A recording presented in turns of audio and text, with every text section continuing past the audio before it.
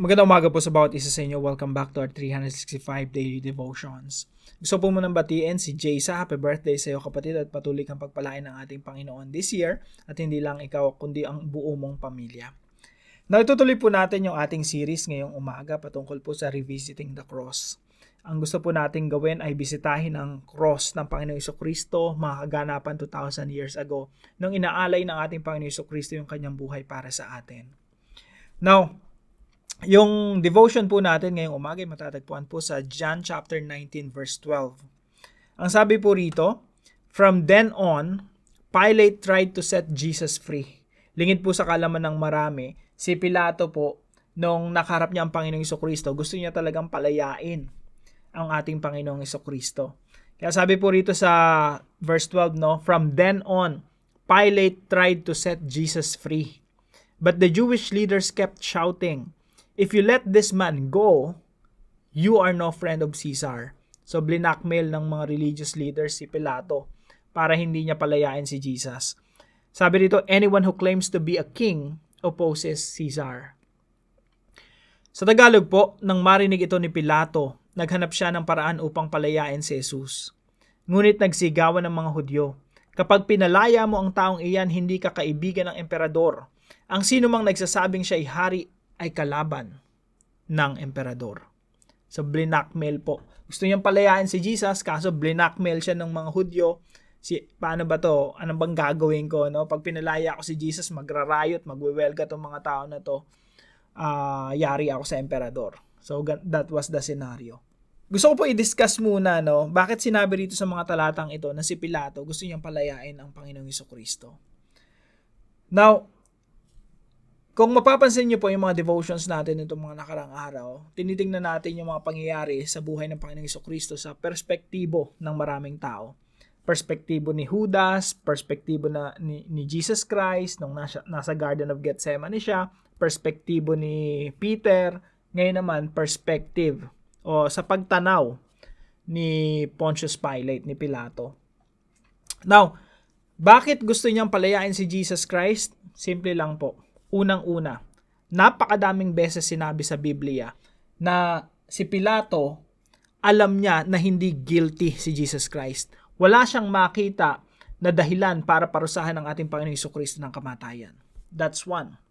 Number two, alam ni Pontius Pilate, alam ni Pilato na yung mga religious leaders, yung mga mga uh, Pharisees, Sadducees, yung mga elders, naiingit lang sila kay Jesus Christ kaya gusto nilang patayin si Jesus Christ kasi maraming tagasunod si Jesus eh. At uh, you know, maraming mga Hudyo naniniwala kay Jesus Christ. Kinaingitan nila, gusto nilang patayin si Jesus. Alam ni Pilato 'yon. Nasa Matthew chapter 27 po 'yon. Pangatlo, yung asawa niya, si Claudia, sumulat kay Pilato nung panahon na nililitis ang ating Panginoong Kristo sabi ni Claudia kay, kay Pilato, matindi, grabe yung dinanas kong panaginip patungkol sa tao na yan. Inosente yan, have nothing to do with that person. Uh, kumbaga, sinasabi ni Claudia, wag mong patayin yan, wag mong, wag mong hatulan yan ng kamatayan. Kasi inosente yung tao na yan. So, si Pilato, patong-patong yung lahat ng dahilan niya para dapat eh, hindi niya hatulan si Jesus Christ ng kamatayan. No? At on top of that, idagdag natin rito, no? Ito yung una nating katuroan. Pilate heard that Jesus is king over his kingdom. Nung nagtagpo si Pilato at ang ating Panginoong Kristo, si Pilato nagkaroon ng pinaka importanteng oportunidad sa buong buhay niya. Hindi ko alam kung ilang taon si Pilato during this this time. Pero sa lahat ng narinig niya, sa lahat ng mga nakausap niya, ito yung pinaka-importante. Si Pilato mismo, siya yung kaakaingitan mo si Pilato. Bakit? Nakaharap niya yung Son of God, the God incarnate. Yung Diyos na nagkatawang tao, kaharap niya, mukhaan. At pinapaliwanag ni Jesus Christ sa kanya na meron siyang kaharian. Sabi ni Jesus Christ, My kingdom is not of this world. Sabi ni, ni Pontius Pilate, You're a king then. Sabi ni Jesus Christ, For this reason I was born. Yes, I am a king. And for this reason I was born. So si Pilato, he heard from Jesus himself, from the mouth of Jesus Christ, that Jesus has a kingdom and he is a king over his kingdom. Pero ano po, binaliwala ni Pilato. Bakit? Mas prinotektahan ni Pilato yung karir niya. No? Uh, blackmail siya eh, ng mga Hudyo eh. Sa pangalawang katuruan natin, Pilate heard that Jesus is the Son of God. Nung iniharap ni Pilato si Jesus Christ sa mga Hudyo, sa, nagsisigawan lalo yung mga Hudyo, crucify him, crucify him. Kasi alam ng mga Hudyo, gustong palayain ni Pontius Pilate si Jesus Christ. Kasi napakadaming beses sinabi ni Jesus Christ, ay ni, ni Pontius Pilate na wala akong makitang rason para hatulan to ng kamatayan. No? Uh, para sa kanya, inosente si Jesus Christ. At alam ng mga tao na si Jesus Christ, eh, gustong palayain ni Pilato. Kaya lagi lalo silang nagsigawan, siguro inuudyo ka ng mga religious leaders yung mga tao, crucify him, crucify him, crucify him. Bakit nila i-crucify si Jesus Christ? Anong rason? Sabi rin sa Bible, because he claimed to be the Son of God. Jesus claimed to be the Son of God. Nung marinig ni Pilato yun, mas lalo siyang natakot. Una, napanaginipan ng asawa niya. Pangalawa, alam niya, inosente. Pangatlo, alam niya kinaiingitan lang siya ng mga tao. And then, this time, nagsasalita siya na my, my kingdom is not of this world. Yung, yung meron siyang kingdom na kakaiba, no? And proclaim ni Jesus Christ na, yes, I'm a king over my kingdom. And this time, sabi ng mga tao sa kanya, because he claimed to be the Son of God. Si Pilato noon, natakot, lalo nang natakot. At uh, gusto niyang palayain ng ating Panginoong Iso Kristo. Pero lahat ng ito, binaliwala po ni Pontius Pilate. Bakit? Point number three. Pilate chose his career over Jesus. Mas pinili ni Pontius Pilate yung career niya, yung position niya, yung power niya, yung pwesto niya over his over the Lord Jesus Christ. Mas mas pinili niya yung pagiging gobernador niya. Sabi po ng mga tao sa kanya, Ngunit nagsigawan ng mga Hudyo, kapag pinalaya mo ang taong iyan, hindi ka kaibigan ng emperador. So nilagay nila si Pontius Pilate sa isang sitwasyon na talagang blackmail.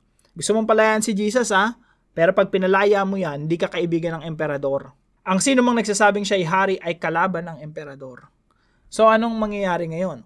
Kapag pinalaya si Jesus Christ, magra-riot yung mga tao, magwewelga yung mga tao, ma- pwedeng makarating doon sa emperador na yung nasasakupan ni Pontius Pilate, nagkakaroon ng kaguluhan, pwede siyang palitan.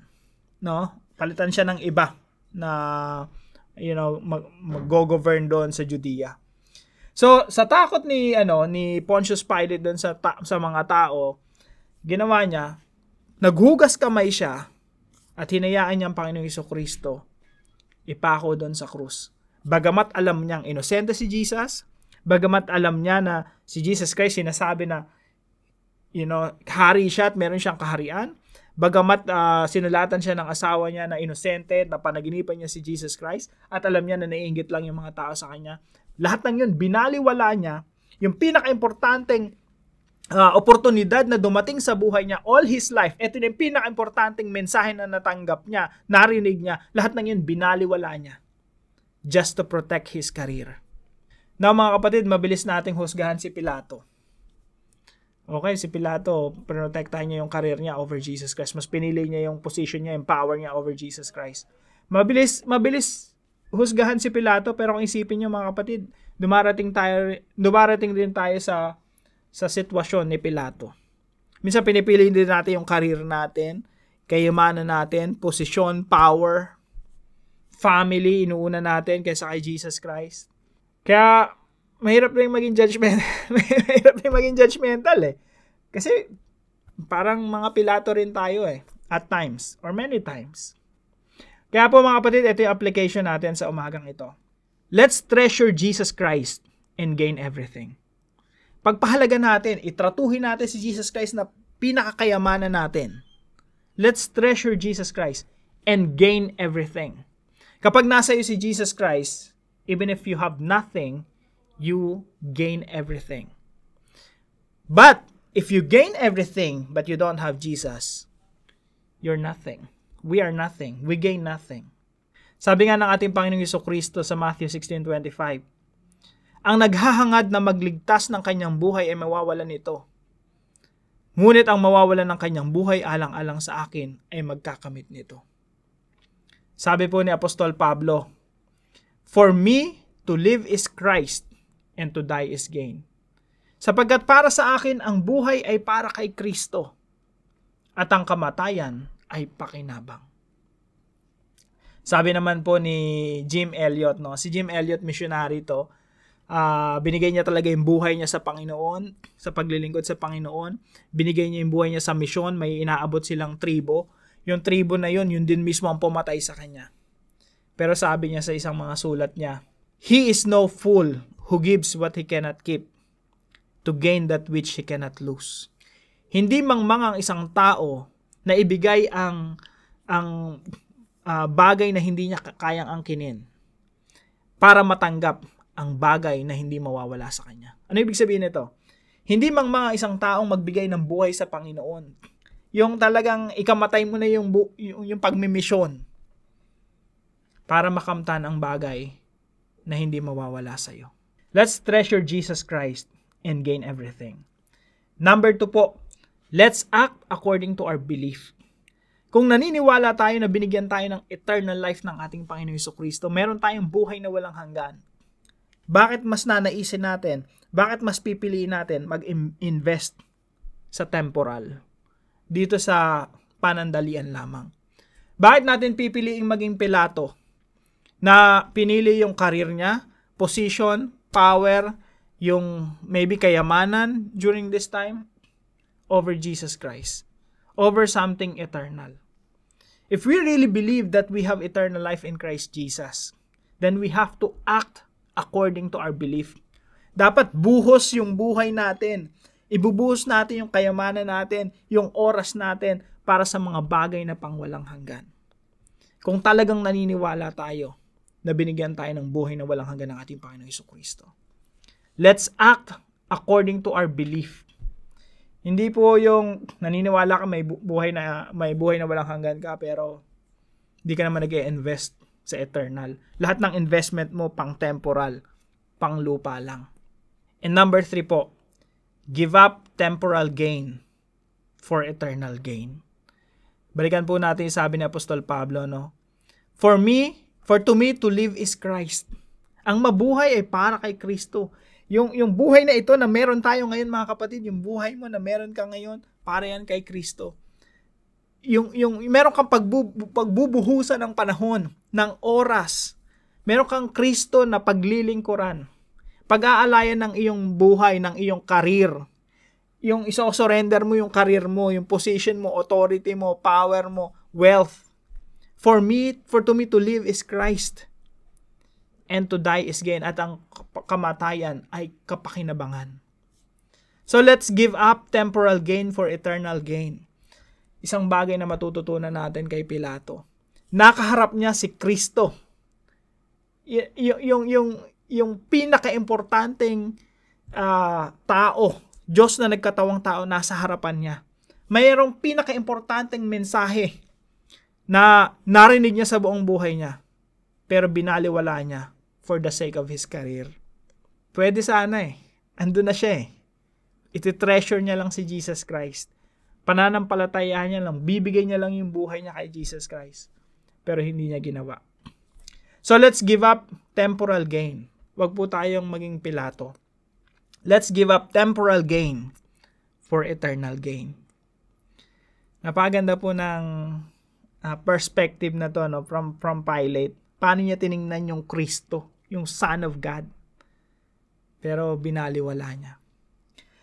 Now, para po sa ating discussion, why is treasuring Jesus our eternal gain? Bakit yung yung pagpapahalaga sa Panginoong Iso Kristo, yung paglilingkod sa Kanya, yung pag invest sa buhay na walang hanggan. Why is treasuring Jesus our eternal gain?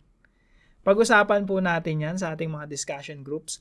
At para naman po sa ating panalangin, Heavenly Father, just like the Apostle Paul, I affirm that to live is Christ and to die is gain. Please help me to give up temporal gain and worldly comfort in order to gain eternal treasures. It is my deepest desire to treasure Jesus above all. more than my family and material wealth. I offer my life, time, strength, skills, money, and everything I have for your glory and honor. I know that a person is not a fool to give what he cannot keep in order to gain what he cannot lose. I give my all to you, Lord. So help me, God. I pray this in Jesus' name. Amen and Amen. Salamat po sa katuwang natin, sa devotion natin. Si Ma'am Kathleen, maraming maraming salamat po sa inyo at hello po sa lahat ng mga Pilipino na nanonood sa atin, sumusubaybay sa mga devotion natin from Qatar. Kung meron po kayo natutunan sa devotion po natin na ito, ipalam nyo lang po sa comment section right below this video and please share this devotion to your family and friends. Hanggang sa muli po, makita-kita po tayo 5 a.m. dito sa ating daily devotion.